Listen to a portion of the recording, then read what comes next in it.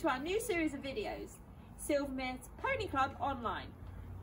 Today we're going to be learning about how to approach our pony in a stable, pop a head collar on and then tie them up safely and correctly. Grab your head collar and lead rope. It's often easier to start with your lead rope over the shoulder nice and securely have, and have the head collar untucked and ready so when you go into the stable it's less to faff with.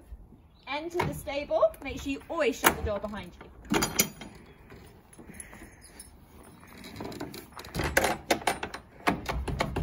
Make sure you approach the pony at their shoulder because it's the easiest place for them to see you.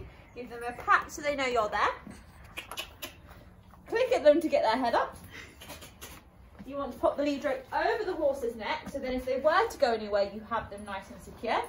Then pop a hand over your pony's nose, pop their nose through the head collar, gently flick it over the top and fasten.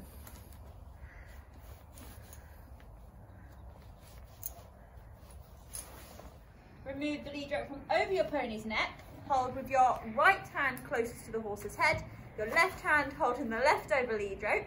Make sure you don't wrap it around your hand because that's dangerous. We're gonna take him out the stable and tie him up outside.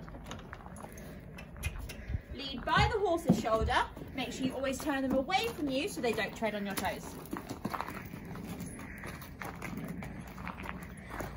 We're gonna shut the door behind me. Always tie your pony up to a breakable tie-up point. We use string, so when the horse pulls away if they get scared or panic, it will snap, releasing the horse so they don't take the whole wall with them. Always make sure you tie your pony up tight enough. You're gonna make a little loop with your lead rope, almost practically folding the lead rope in half.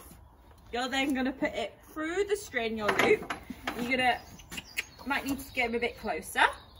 Then you're gonna pop the leftover bit of the lead rope through your loop. Once you've twisted your loop, you're then gonna pop it through the loop, putting the bit attached to your pony still, or closest to your pony, and putting the bit you've just threaded through your loop away from each other, allowing the knot to tighten.